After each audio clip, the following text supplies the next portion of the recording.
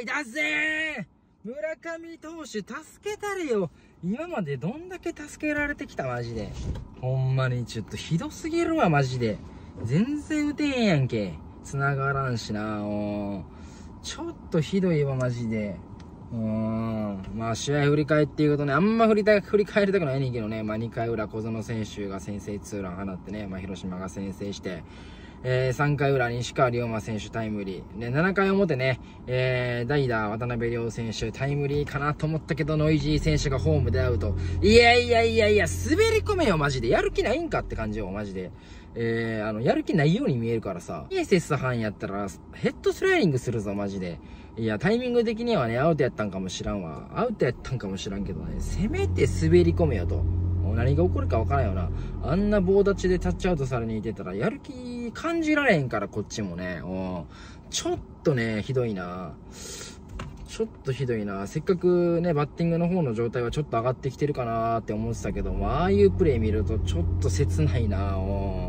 もっと全力でやろうぜ。プレイプレイ。一つ一つのプレイね。全力でいこうぜ。まあ、あと強いて言うなら、あそこはランナー貯めておきたかったな。2、3塁にしときたかったなっていうところはあるよね。うん。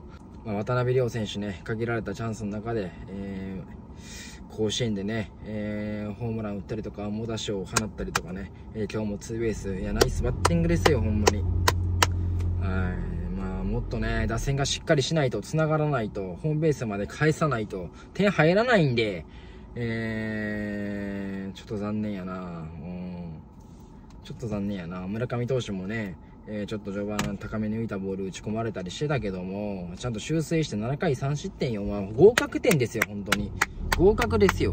それやのにもかかわらずね、ちょっと打線ひどいわ、マジで。えー、そしてね、えー、8回に、8回裏にはね、及川選手が、えー、野間選手のファーストゴロの間に、えー、追加点を許してしまって、はい、結局、まあ、4対0の完封負けです。はい。えー、なんで連勝できんねん、マジで。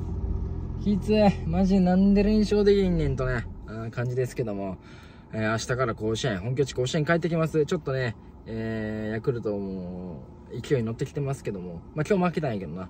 あの、明日からね、なんとか3連勝できるように雨の方も心配ですけども、雨にも負けず、勝っていきましょう、マジで。えー、さっきも言ったけど、今日はヤクルトが負けました。ってことは横浜が勝ちました。ってことはゲーム差1.5です。えー、カープとのゲーム差も縮められました。ただ今はそんなこと言ってられる状態ではないので、チーム状態ではないので、一戦一戦確実に勝っていって、もう一回連勝回答していこうやないか。おちょっときついわ、マジで。もう、打ってくれしか言われへん。ピッチャーはね、ほんとある程度試合作ってくれてるので、毎毎試合毎試合ね、ある程度、ほとんどの試合で試合作ってくれてるので、ピッチャーにね、文句言うことはできないので、バッター陣頼むから打ってあげてくれ。